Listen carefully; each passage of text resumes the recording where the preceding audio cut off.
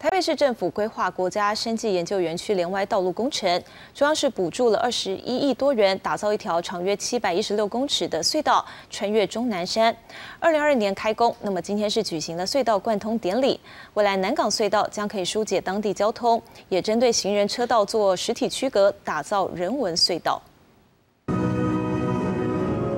怪手顺利敲破最后一堵墙，象征南港隧道工程贯通。施工团队从洞口走出来，获得现场喝彩。国家生技研究园区二零一八年启用，有两千四百人进驻，增加就业机会，却导致南港交通恶化。北市府规划国家生技研究园区连外道路工程，配合东区门户计划，由中央斥资二十一亿多元。打造一条长约七百一十六公尺的隧道，穿越终南山，借此疏导南港地区的交通拥塞。二零二二年开工，历经两个年头，六号迎接隧道贯通。它最重要就是能够串接我们忠孝东路七段以及研究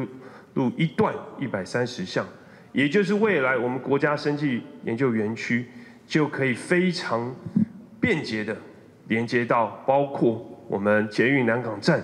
南港转运站，台北市已经多年没开挖隧道。蒋万安指出，上次施作类似的连外道路已是二十多年前，这次碰上许多艰难挑战，但施工团队一一克服。南港隧道未来不只能疏解当地交通瓶颈，还能作为台风期间防灾的替代道路。林永昌表示，南港隧道的特色就是设有独立的行人、自行车道，落实人车友善。那除了人行，还规划了自行车道。这个衔接到我们的捷运站，我想对啊我们周边地区的民众日常的一个通行，甚至是上下班时候的一个通行，都提供了一个新的一个选择。